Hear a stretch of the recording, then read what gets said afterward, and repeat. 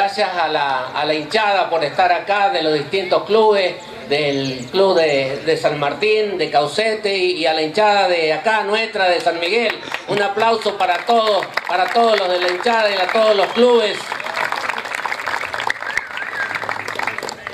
Señor diputado, departamental, Pedrito Albagle, concejales que nos acompañan, a la gente de la Secretaría de, la provincia también que nos están acompañando, gracias por estar. Decirles que este lugar es un lugar emblemático para nosotros los albardoneros y realmente lo tenemos que tratar de cuidar y de usarlo de la mejor manera para que sigamos construyendo futuro. Tenemos hoy en la actualidad jugando el albardoncito más de mil chicos y hoy se juega la Copa de Campeones. Qué bueno que puede ser esto, que tengamos la Copa de Campeones acá.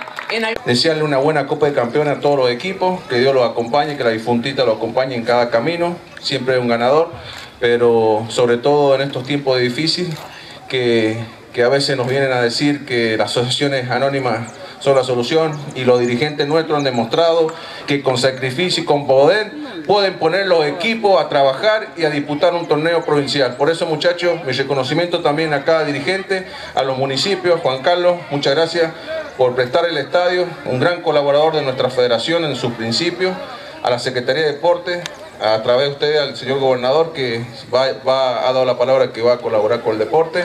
Le deseo lo mejor y muy buenas, muy buenas tardes para todos. Muchas gracias. Eh, al señor intendente y, a las autoridades eh, del municipio, muchas gracias por eh, integrarnos acá a la casa de ustedes. les deseo un, buen inicio de, torneo en esta copa tan importante como es la Copa de Campeones, abarcando todas todos los municipios y todos los clubes del interior de la provincia. les deseo lo mejor y que tengan buenas tardes. Reconocimiento que entrega Teresa Guzmán, la presidenta de la Liga Caucetera, a Gilberto Nene Caballero. Allí un gran jugador, ¿no? Otro un gran jugador que tuvo lo que es la provincia de San Juan.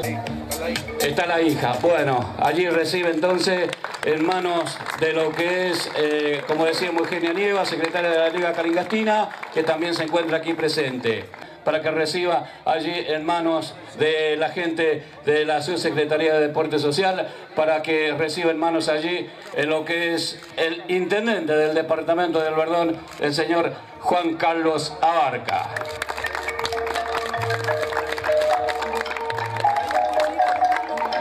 Que estoy súper contento, ¿no? Agradecerle a todos los dirigentes el apoyo que están dando a sus clubes. Tenemos San Roque, Rincón, Arroyito y San Miguel en la primera división. Después tenemos en Infanto Juvenil a la Asociación Deportiva Bardón, Paso Los Andes, Villa Evita, Atlético Huracán.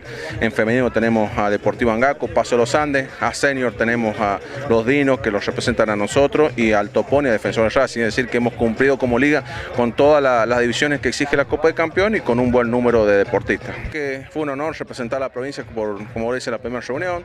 Bien los lineamientos de, eh, generales de, la AFA, de que empecemos a trabajar, a organizar los torneos, sobre todo inferiores, nos han pedido que empecemos a trabajar futsal y también empecemos a desarrollar un futuro lo que es fútbol playa, que también va a regular la AFA, y sobre todo ordenamiento de los torneos, tener un, calendario similar para que se puedan jugar los provinciales como lo venimos haciendo, y también ya armando lo que va a ser el torneo regional 2024-2025, que nuestra liga tuvo una muy buena participación con el Atlético San Miguel.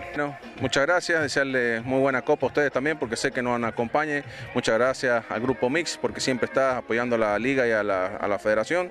Y bueno, pues como dice, ojalá que la copa se quede acá, quien sea, pero lo importante es que podamos representar, estar bien y que tengamos una linda Copa Campeón.